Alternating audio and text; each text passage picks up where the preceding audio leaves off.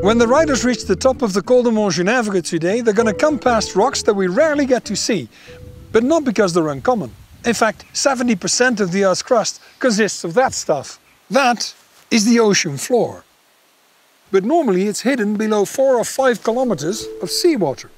Now, I would love to take you up there to show those rocks to you, but we can't reach them. But luckily, there are a few big samples around the corner. Oceanic crust forms at volcanoes, but not those conical shapes that you know, but very long mountain belts that form at the bottom of the ocean, for instance in the Atlantic, thousands of kilometers long.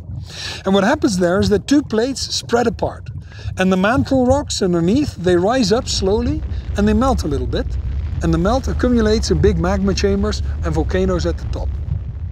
Now this rock formed in one of those magma chambers and it cooled very slowly making large black and white crystals. And when rocks like this cool down, they become denser than the mantle and they want to sink into it. That happens at subduction zones where one plate dives into the mantle below another plate.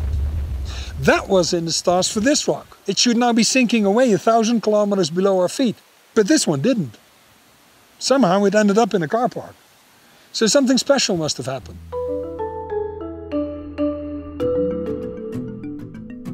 Now the oceanic crust that we just saw lies on top of these light-colored rocks behind me. These make up, for instance, the Col de Galibier, and they formed part of a continent. And that tells us what happened. A subduction zone formed within an ocean, and one slab of oceanic crust went below the other. Now, oceans don't continue forever, and attached to this ocean was the continent of France. So sooner or later, that continent arrived in the subduction zone and went down. But it wasn't particularly happy to do so, so it got sliced up. Those slices make the Alps, and they jacked up the ocean.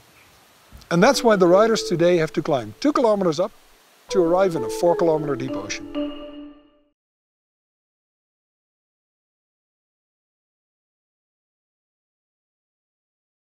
We really hope that you're enjoying our clips of the geology of the Tour de France and other cycling races and we love bringing it to you.